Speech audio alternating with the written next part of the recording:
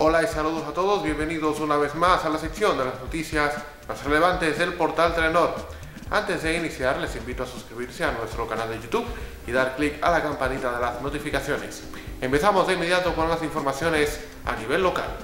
Una mujer denunció este miércoles que fue víctima de abuso por parte de agentes de la DGCET en San Francisco de Macorís. Yanira Roque Minaya narra que su hijo Francisco Alejandro fue detenido y al reclamarle la acción, estos la agredieron sin mediar palabras. Agrega que procederá judicialmente por la agresión recibida, considerando la acción como excesiva.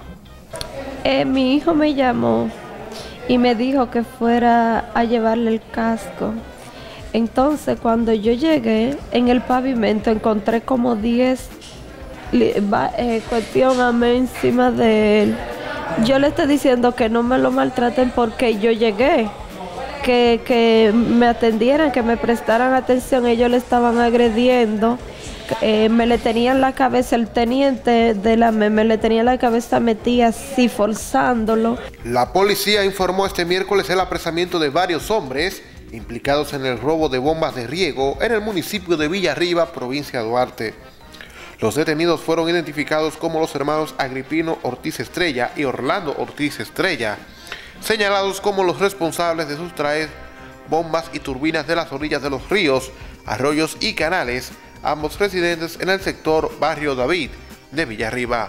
Además resultó detenido Pedro Antonio Siri Paulino, propietario de un taller en Jima Bajo La Vega, quien realizó la entrega voluntaria de varias bombas y turbinas que según este se las llevaron los hermanos Ortiz para que las vendiera. Yo me hallé eso bajo unos palos de laurel, en el puente de, de, de Arrenclín, en el puente de Luchero. Y yo, como eso, yo veía eso ahí, que los palos se secan la hoja, yo veía eso ahí. Yo sé que eso ya se hacía cuarto.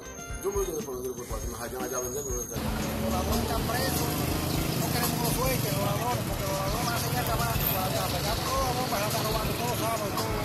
Porque uno la deja en la hacienda, se la roba.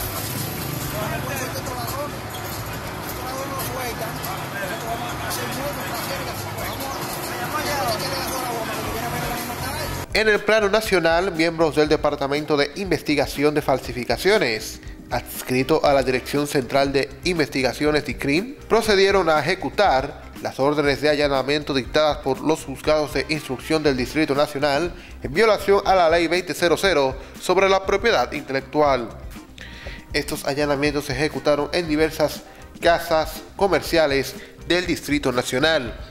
En los mismos se ocuparon 1.764 franelas, 287 gorras, 351 vestidos para niñas, 1.457 conjuntos, chaqueta y pantalón, y 71 pantalones, todos estos presumiblemente falsificados. Finalizamos con la diputada Lucía Medina, quien en un video que circula en las redes sociales se observa a la representante por la provincia de San Juan de la Maguana del Partido de la Liberación Dominicana diciendo que les trajo las verdaderas habichuelas con dulce. En el video se observa a la congresista desde un vehículo diciendo que les llevó, además de las habichuelas, los ingredientes para realizar este postre típico de la cuaresma dominicana, pero sin embargo los llama a que compren las batatas.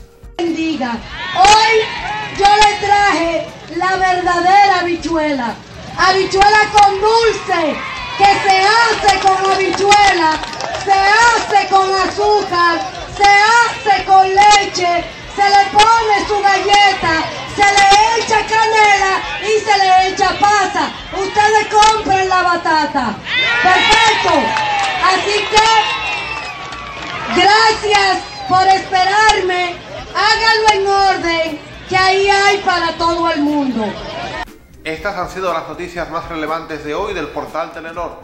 Antes de finalizar, les recuerdo que deben suscribirse a nuestro canal de YouTube y dar clic a la campanita de notificaciones, además de seguirnos en nuestras redes sociales Facebook, Twitter e Instagram y visitar nuestro portal para leer estas y otras informaciones. Gracias por su sintonía y será hasta la próxima.